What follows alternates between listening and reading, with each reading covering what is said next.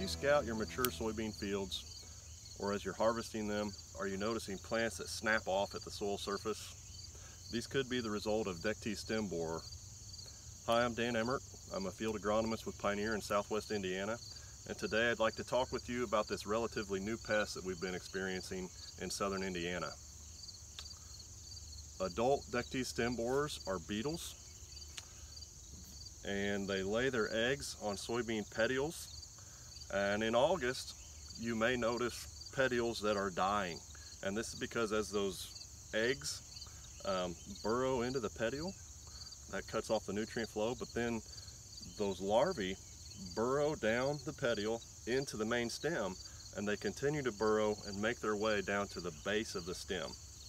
Once they're down at the base, as the soybeans start to dry and mature, that larvae will girdle off the interior of the stem and create a burrow for itself to overwinter down here in the crown of the plant. Now what happens is, as that plant dries, that plant becomes very brittle where that internal girdle was created. So a wind or anything else moving through that field could create plants that snap off right at the soil surface.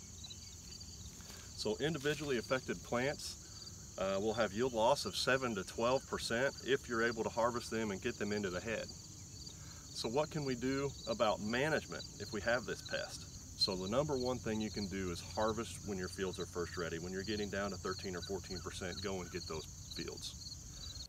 So that Dectes stem borer larvae is going to overwinter in this portion of the soybean stem. And then next year, there will be a beetle that'll emerge from the soil. This is why crop rotation and tillage are so important if you're battling a Dectes stem borer problem.